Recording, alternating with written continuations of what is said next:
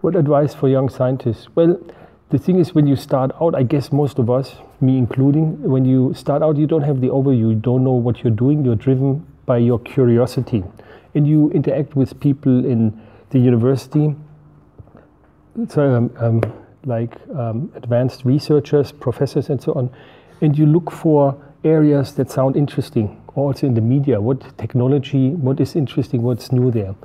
Uh, but you should keep in mind when you do this, because getting trained as a scientist, as a young scientist, I mean, you start studying. When you study science, it's already four years master, bachelor, um, maybe about three years, uh, three years bachelor, two years master. Then you do a PhD.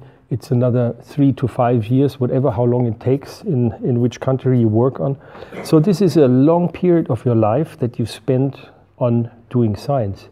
And only at that stage then you might be ready to find a job in industry or if you go into academia the next thing would be then doing a postdoc one or two or three. That's another few years add on. And then the chances to find a job in academia are very uncertain.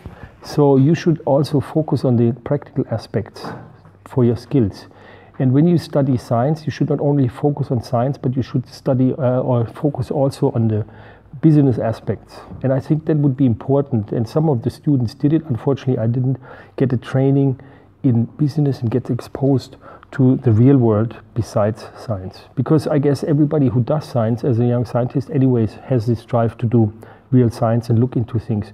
The second um, advice would probably be don't be restricted to certain things like stay only at home in your hometown to do science or go only to the people who are uh, um, known because they are important guys.